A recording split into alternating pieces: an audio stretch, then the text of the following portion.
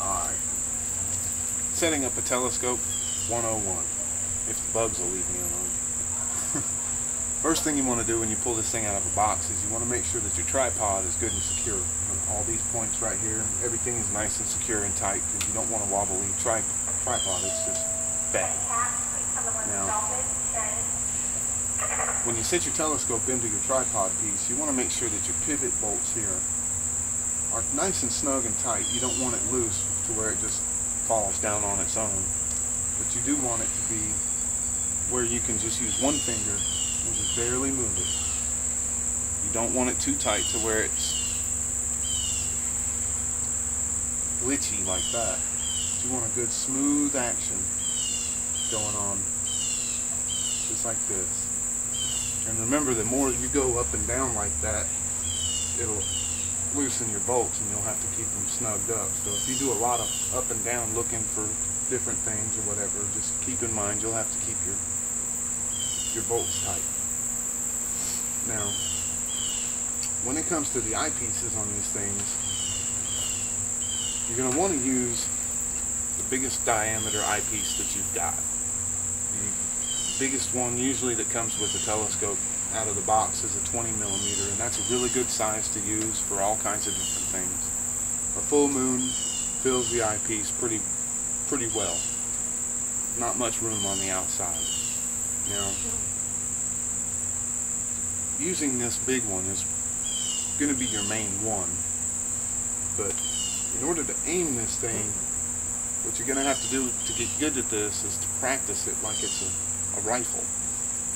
You're going to want to pick something down off into the woods or down the street or down your driveway or whatever and just literally look down the crest of your telescope and try to aim it like a rifle and then see how close you are to your target. Go ahead and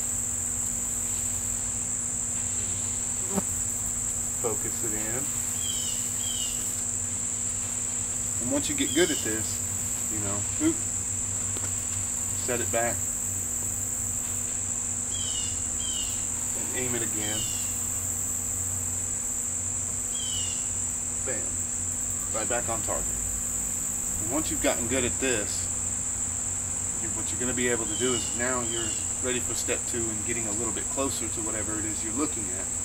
So once you've got your target and you know that you're pretty much centered drop this eyepiece out instead of like a 10 millimeter or a 4 millimeter, which are common eyepieces that come with a basic telescope set. You put it in there, and then you can adjust out and bring it into focus, and you're up close and personal with whatever it is you're looking at. But you want to use the big one first, because it just makes it much easier to find the target because it's got lot, a lot more room to look. You've got everything around it, not just the object that you're looking at.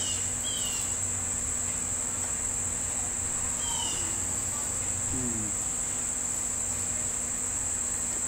If your telescope comes with a corrector elbow like this one, everything you see when you look through this is right side up and right as far as correct as in left and right. Now, if you don't have one of these, and your telescope is set up like this, everything is going to be upside down and backwards. So when you look through it and it appears that you need to move it up and to the right to follow the moon, you actually need to go down and to the left because everything is upside down, backwards, and inverted. These little things are quite handy.